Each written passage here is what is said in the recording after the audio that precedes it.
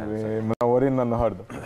كابتن علاء تحدي جديد للنادي الأهلي وبالرغم من بعض الغيابات إلا إن الأهلي متعود على الفوز دائما.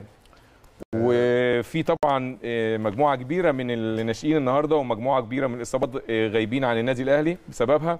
إنما برضه الأهلي هيسعى للفوز أكيد النهارده. ده أكيد إن هو المبدأ واحد مبدأ انك بتلعب ثلاث نقاط تحت أي ظروف.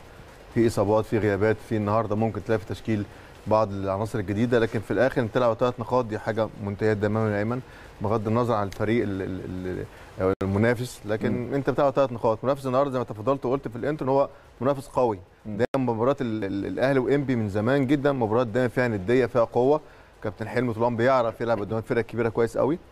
لكن على الجانب الآخر مستر موسيماني النهارده برضه هتلاقيه بيشوف حاجات جديدة النهارده ممكن تلاقي حاجة جديدة النهارده في التشكيل.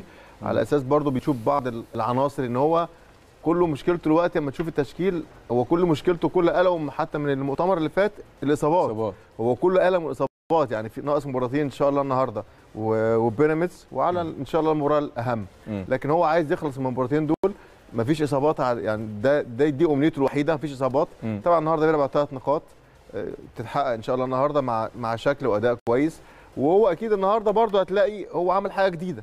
ده متوقع على فكرة. هو خلاص من من المباراه السابقه هو بدأ يبقى هو المسؤول رسمي. ما خدش وقت زي ما اتفقنا كلنا في الاستوديو إن رفاهية الوقت مش موجودة عندك.